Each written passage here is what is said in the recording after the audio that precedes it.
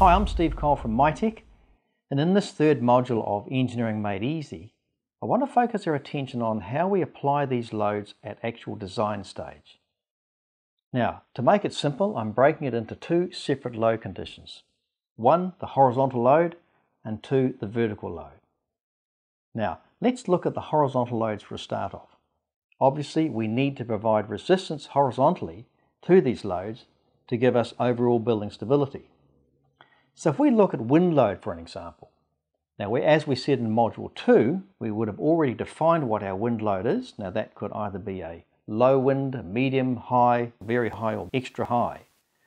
Now these loads are then used to generate what we class as a bracing demand. Now for simplicity of design, the bracing demand is converted to what we call bracing units.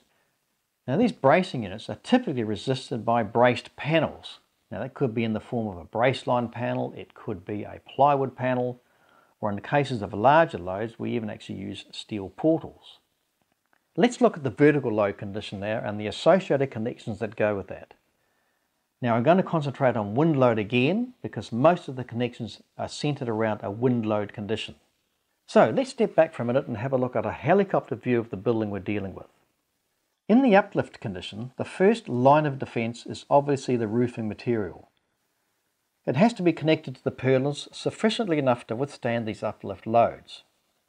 Logic tells us that the purlins in turn must be connected sufficiently as well.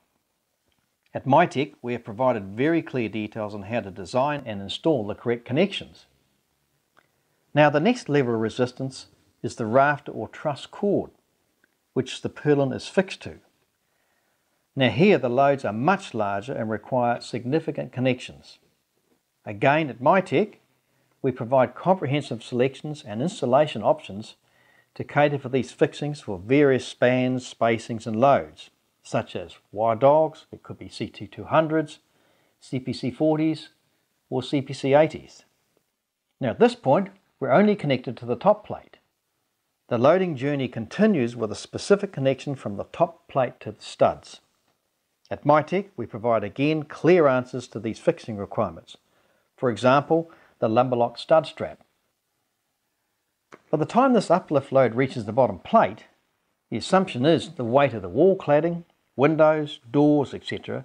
will provide enough resistance to sufficiently connect the stud to the bottom plate. This bottom plate is then connected to the foundations through a variety of fixing options and the total connection is now complete through to the ground. During each of these connection designs, we do our calculation again.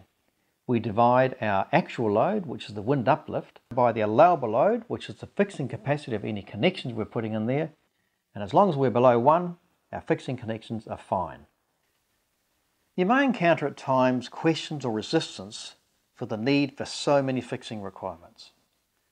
Well, by now you'll have had some idea of the building regulations and the fact that we must comply with the building code. Now that's exactly what these fixing designs are doing. But what's of equal importance though is the understanding from an engineering perspective. Now at MiTek we believe the standards have actually got it pretty right.